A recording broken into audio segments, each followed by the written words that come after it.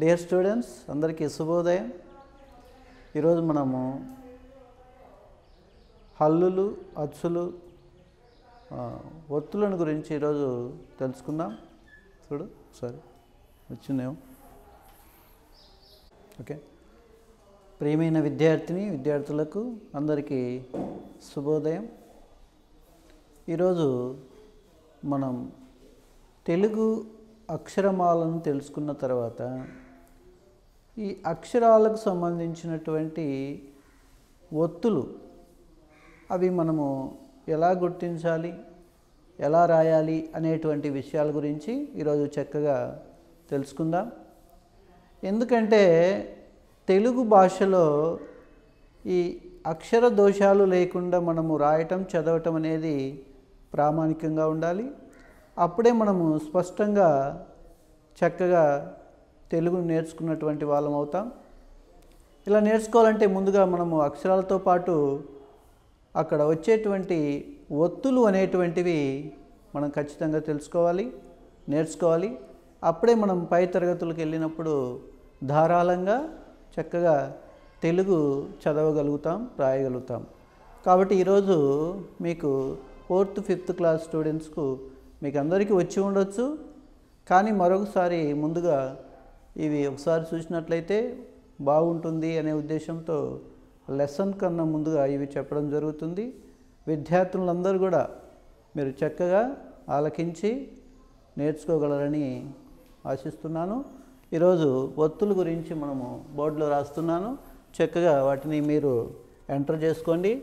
మీ నోట్బుక్లో ఒత్తులు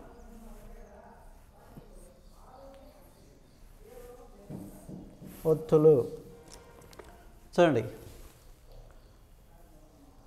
ఆ. దీన్ని మనం ఇలా తలకట్టుగా చూస్తాం. అంటే గుణింతానికి కూడా వచ్చినప్పుడు క. దీన్ని మనం ఏమంటామంటే తలకట్టు అంటాం. తలకట్టు. తలకట్టు అని అంటాం. అలాగనే ఆ దీని దీర్ఘం అంటాం. దీర్ఘం. అంటే కాకు దీర్ఘం చే ఖా అని. దీని దీర్ఘం అని అంటాం. దీర్ఘము.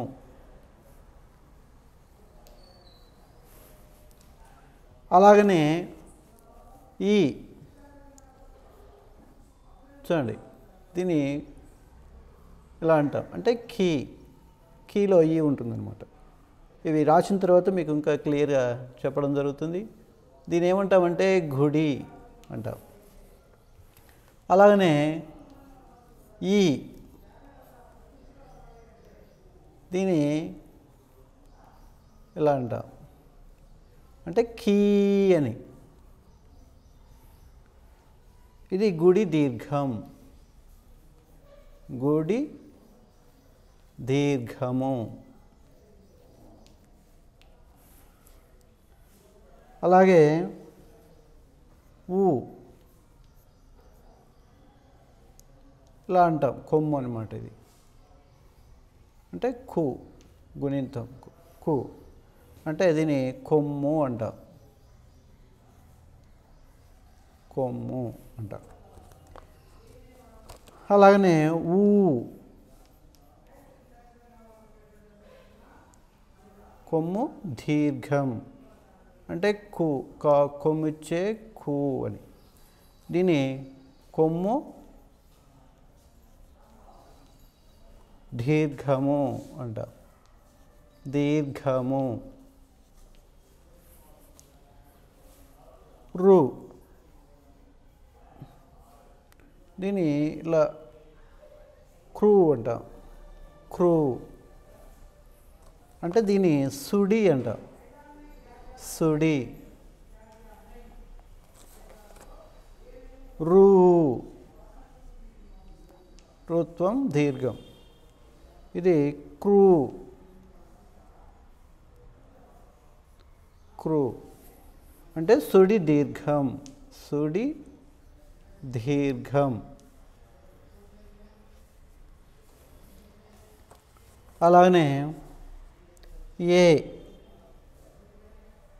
దీన్ని ఏమంటాం? ఇలా అంటాం? ఏత్వం దీని ఖే కే కేత్వం చే ఖే. అంటే దీని ఏత్వం ఏత్వము అంటాం. ఏ.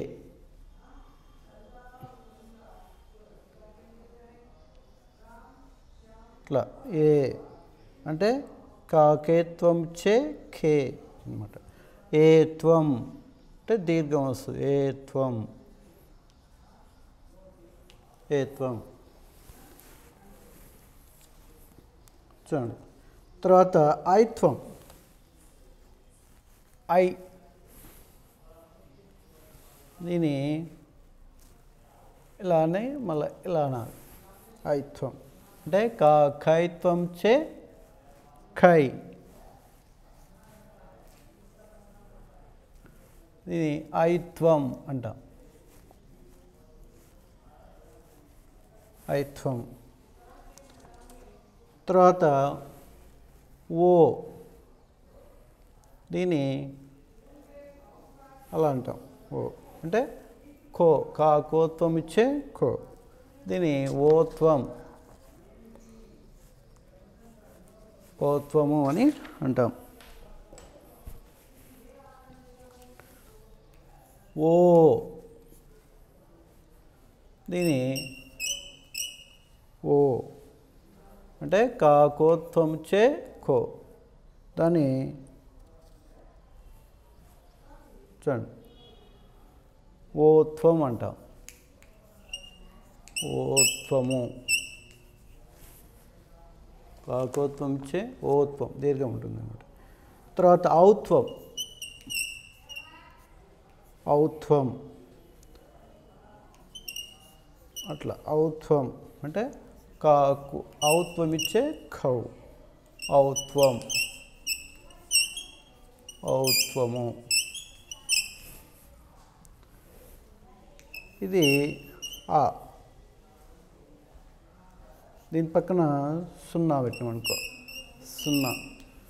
అప్పుడు దాని ఖమ్ అంట. అంటే పూర్ణ అనుస్వరం. పూర్ణ అనుస్వరం అంట. పూర్ణ అనుస్వరం. అంటే నిండు సున్నా అని. ఇది ఆ పక్కన విసర్గ. అంటే కహ. రెండు సున్నాలు పెడితే కహ అంట. అంటే విసర్గ. విసర్గ. సర్గము ఇవి ఒత్తులు. వీటిని గురించి మనము చక్కగా ఇప్పుడు విందాం. కాబట్టి మీరు ఇవి నేర్చుకున్నారంటే కనుక ప్రతిదీ మనం రాసేటువంటి ఏదైనా పదాలు కానీ వాక్యాలు కానీ మనం ఏం రాసినా కానీ ఈ గుణింతాలు ఒత్తులు ఇవన్నీ పెట్టి తలకట్టు దీర్ఘం ఇవన్నీ ఖచ్చితంగా కంఠస్థం చేయాలి. మీరు మైండ్లో పదిలపరచుకోవాలి అప్పుడే మీరు చక్కగా మీరు రాతను రాయగలరు చదవగలరు. కాబట్టి మీరు ఇవి నేర్చుకోవడానికి గట్టిగా ప్రయత్నం చేయాలి చిల్డ్రన్. మళ్ళీ ఒకసారి నేను మీకు రిపీట్ చేయడం జరుగుతుంది. కాబట్టి చూడండి ఒత్తులు. వత్తులు అంటే ఇంకా మనము అక్షరాలను ధ్వనులను ధ్వని రూపంలో ఎలా పలుకుతున్నాము? ఆ సౌండ్ ఎలా వస్తుంది? ఏకమాత్ర కాలంలో పలకబడుతుందా? ద్విమాత్ర కాలంలో పలకబడుతుందా అనేటువంటిది మనము గుర్తించాలి. ఏకమాత్రము కాలంలో పలకబడేటువంటి దాన్ని అశ్వాలు అంటాం. అంటే పొట్టి అక్షరాలు అని అంటాం. ద్విమాత్ర కాలంలో పలకబడేటువంటి దాన్ని దీర్ఘాలు అంటాం. అంటే ఎక్కువగా వచ్చేటువంటి శబ్దం ఎక్కువగా పలకబడేది. అంటే మాత్రకాలం అంటే కనుక రెప్పపాటు కాలాన్ని మాత్రకాలం అని అంటాం. అంటే మనము కన్ను మూసి తెరిచే లోపల పలికేటువంటి స్వరం ఆ ఆ స్వరం అనేది ఏముంటుందో అది అశ్వం అంటాం. రెండు సార్లు కనురెప్ప మూసి తెరిచే లోపల పలికేటువంటి దాన్ని దీర్ఘం అని అంటాం. కాబట్టి ఈ దీర్ఘ అశ్వాల ద్వారానే మనము ఈ అక్షరాలను ధ్వనులు మనం ఎలా పలకాలనేది మనము తెలుసుకోగలుగుతాం. ముందుగా ఆ ఆ అనేటువంటిది అశ్వం అంటే పొట్టిగా పలకబడేటువంటిది. దీన్ని మనము ఇలా తలకట్టు అనేటువంటి దాంతో ఉపయోగిస్తాం. ఇక్కడ ఆ అనేది తలకట్టుతో. అంటే ఇప్పుడు కా ఉంది. ఈ కాలో ఏం పలుకుతుందంటే ఆ పలుకుతుంది ఆ ఉంటుంది. చూడండి కాలో ఏముంటుంది? ఆ ఉంటుంది. అంటే ఇది హల్లు అనమాట ఇది హల్లు. హల్లులో హచ్చు వచ్చి చేరుతుంది. కాబట్టి కాలో తలకట్టును మనం తీసుకున్నామంటే ఇంకా ఇది తలకట్టు. అక్కడ ఆ అనేటి ఉంటుంది. అంటే తలకట్టు అని అంటాం. దీన్ని ఏమంటామంటే తలకట్టు. అలాగనే ఆ ఇప్పుడు ఇది దీర్ఘం. అంటే రెండు మాత్ర కాలంలో ఉచ్చరించబడింది. అంటే దీని దీర్ఘ అక్షరం అంటాం. అంటే దీర్ఘ అక్షరానికి ఇది దీర్ఘము అని అంటాం. దీర్ఘము. కాకు దీర్ఘమిచ్చే కా అని రాయాలి. కాకు దీర్ఘమిచ్చే కా అని రాయాల్సి ఉంటుంది. కాబట్టి దీని దీర్ఘం దీర్ఘం అంటే ఇలా ఉంటుంది అనమాట కాబట్టి దీంట్లో ఏం పలుకుతుంది? కాకు దీర్ఘంలో ఆ పలుకుతుంది ఆ అనేటువంటిది పలుకుతూ ఉంది. అంటే దీర్ఘం ఆతో పలుకుతుంది. ఇది అల్లు అయి ఉంటుంది. అచ్చులో ఉండేటువంటి దీర్ఘాక్షరం ఇక్కడ స్వరంలో మనము పలుకుబడుతూ ఉంది. తర్వాత ఈ.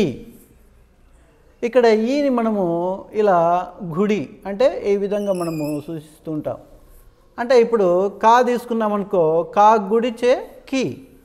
కీలో ఏముంది? ఈ పలుకుతుంది. కీలో ఏముంటుంది? ఈ. ఈ అనేటువంటి స్వరం పలుకుతుంది. ఇక్కడ ఈ ఉంది ఇక్కడ ఈ అనేటువంటిది పలుకుతుంది. కాబట్టి కా ఇప్పుడు కా గుడిచే కీ.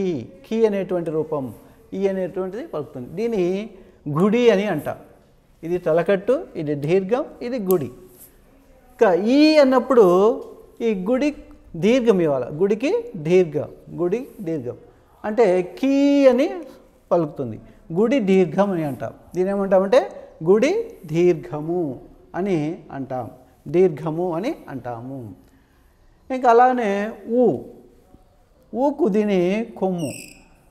ఊకు కొమ్ము ఉంటుంది. అంటే ఇక్కడ కాలో కొమ్మిచ్చామనుకో కా కొమ్మిచ్చే కూ ఉంటుంది ఈ కూలో ఏమొస్తుంది? ఊ.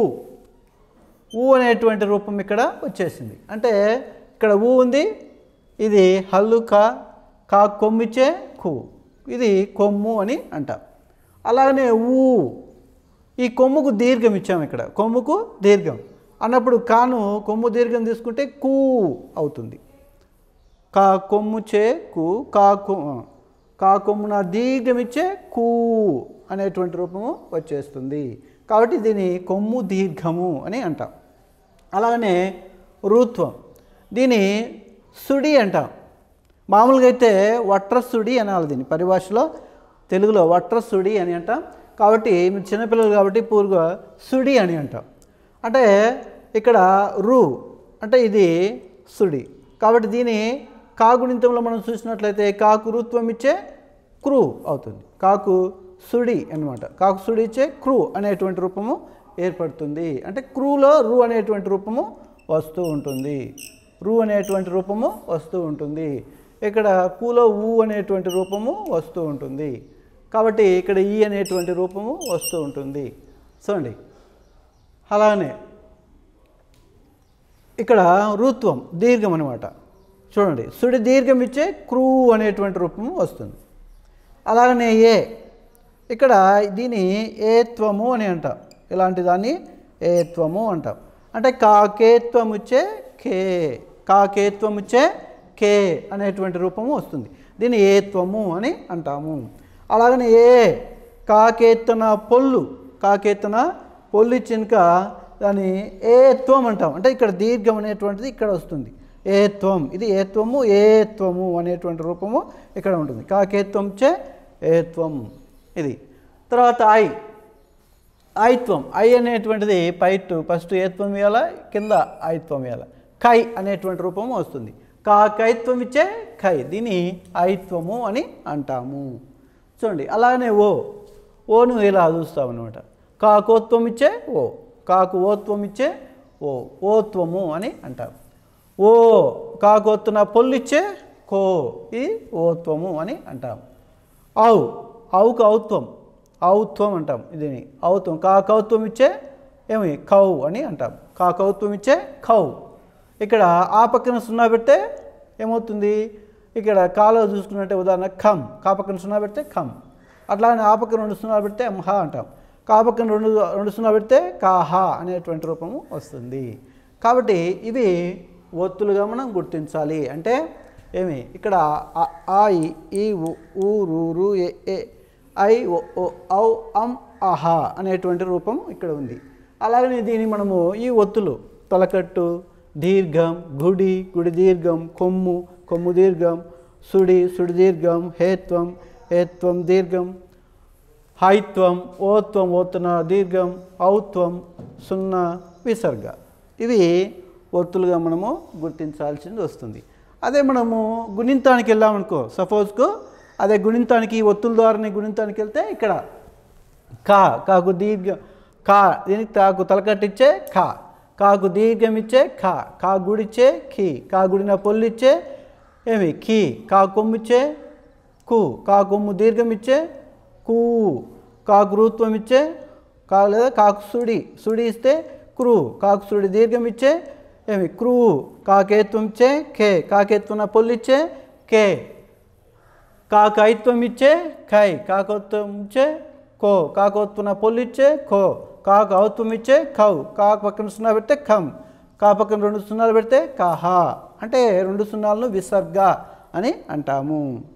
ఓకే ఇది ఒత్తులుగా మనము గుర్తించాల్సింది. ఇది మీరు ఖచ్చితంగా గమనించాల్సింది నేర్చుకోవాల్సినటువంటిది. కాబట్టి మరోసారి మీకు ఎక్స్ప్లెయిన్ చేయడం జరుగుతుంది. ఓసారి వినండి చూడండి. ఇది తలకట్టు. అంటే ఇది తలకట్టుగా మనం గుర్తించాలి. ఇక్కడ కాకు మనం తీసుకుంటే కాకు తలకట్టిచ్చే కా అనేటువంటి రూపం వస్తుంది. అంటే ఇక్కడ ఆ అనేటువంటి రూపం వచ్చి చేరుతుంది. దీన్ని తలకట్టు అంటాం. అలాగనే దీర్ఘం. కాకు దీర్ఘం ఇచ్చే కా. కాబట్టి ఇక్కడ సెకండ్ ఆ అనేటువంటిది ఇక్కడనే కాకు దీర్ఘంలో ఉంటుంది. అలాగనే చూడండి కీ. కా గుడిచ్చే కీ. కా గుడిన పొల్లిచ్చే కీ.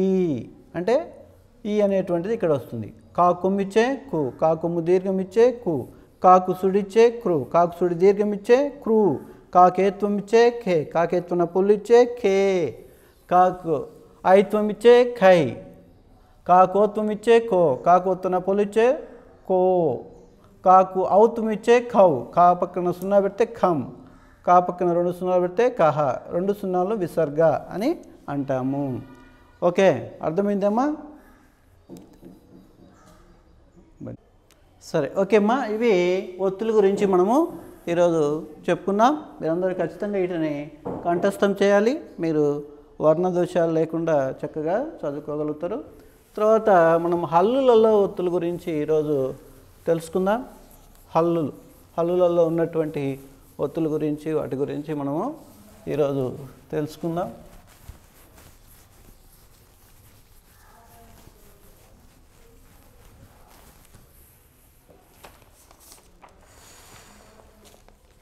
హల్లులు.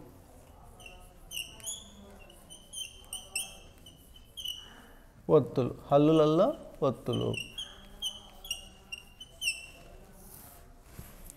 చూడండి. ఖా దీనికి ఒత్తు ఖా అంట.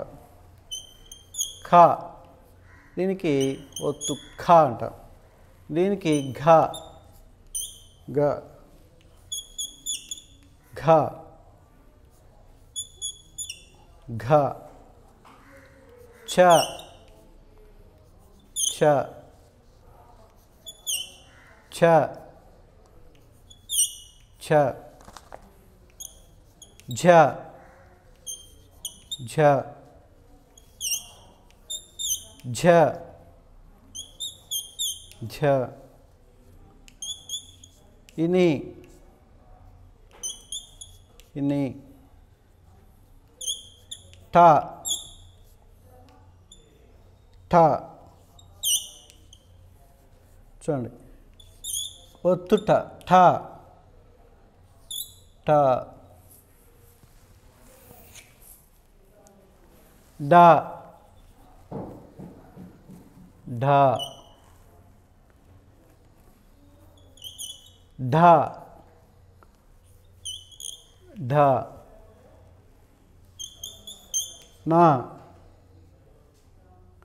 అన త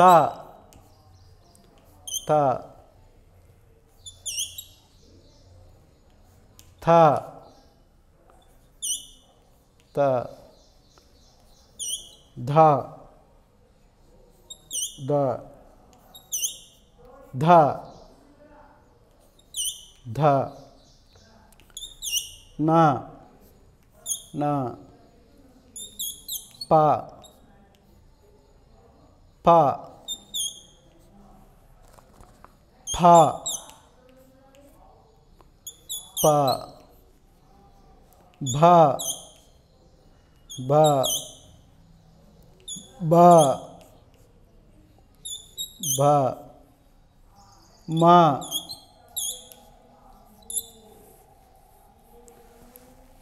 या रा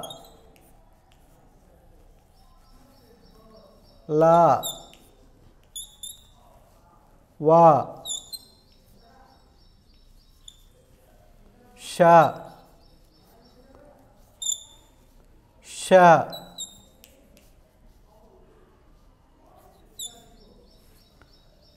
सा హ.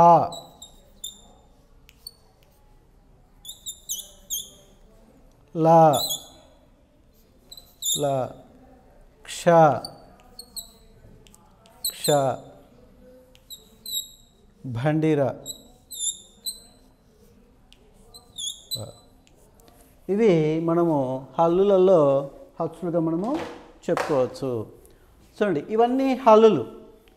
ఖ ఖ ఘ గ ఛ ఛ ఝ ఝ ఇన ట ఠ డ డ న థ థ ద ద న ఫ ఫ భ బ మ య ర ల వ ష ష స హ ల క్ష ర. వీటిని మనము హల్లులు అని అంటాం. ఈ హల్లులలో వాటికి సంబంధించినటువంటి ఒత్తులు అనేటువంటిది కంపల్సరిగా గుర్తించాలి. ఇప్పుడు కాకు ఖా ఇది కాకు కా వచ్చే అక్క అని అని పలికేటప్పుడు కా ఖా కాబట్టి ఇక్కడ ఖ అనేటువంటి ఒత్తు ఇది. ఖా ఖ అనే ఒత్తు. ఖాకు ఖా ఒత్తు. ఘాకు ఘా ఒత్తు.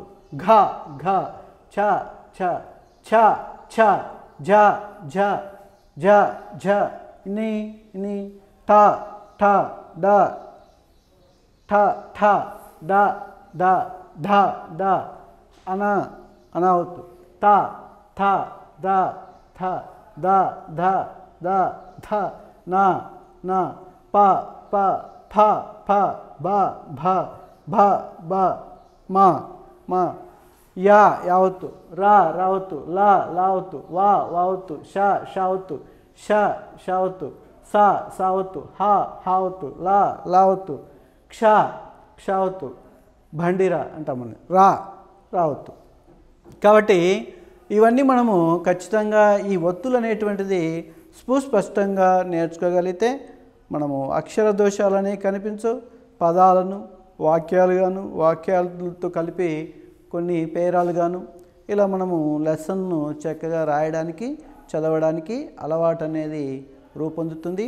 కాబట్టి మీరు ఖచ్చితంగా ఈ ఒత్తులు కంపల్సరీ మీరు నేర్చుకోవాలి. ఇందాక మనము ఒత్తులు చెప్పాం గుణింతం చెప్పాం కా గుణింతం. అలాగనే ఇప్పుడు హల్లులలో ఉండేటువంటి ఈ యొక్క ఒత్తులు ఎలా ఉన్నాయనేటువంటి చెప్పాం. అంటే కాకు ఆ కా ఒత్తు ఎలా ఉంటుంది అనేటిది ఇది కా ఒత్తు. ఖాకు ఖా ఒత్తు ఇది. ఘాకు ఘా ఒత్తు ఇది. ఘాకు ఘా ఒత్తు ఇది. చాకు చావత్తు ఇది. చాకు చా ఒత్తు. ఝాకు జావత్తు ఝా ఒత్తు జాకు జావత్తు ఇనా ఇనాకు ఇది ఒత్తు. టాకు టావత్తు ఠాకు ఠావత్తు ఢాకు డావత్తు ఢాకు డావత్తు అనా అనాకు నావత్తు ఠాకు తావత్తు థాకు థావత్తు ధాకు దావత్తు ధా దావత్తు నాకు నావత్తు పాకు పావత్తు పాకు పావత్తు భాకు బావత్తు భా బావత్తు మా మావత్తు యాకు యావత్తు రాకు రావత్తు లాకు లావత్తు వాకు వావత్తు షాకు షావత్తు షాకు షావుతు సాకు సావత్తు హాకు హావత్తు లాకు లావత్తు క్షా క్షావత్తు రా బండిరాకు రావత్తు ఇవి ఈరోజు మనకు తెలుసుకున్నటువంటివి. కాబట్టి అందరూ చక్కగా వీటిని గుర్తుపెట్టుకోండి కంఠస్థం చేయండి.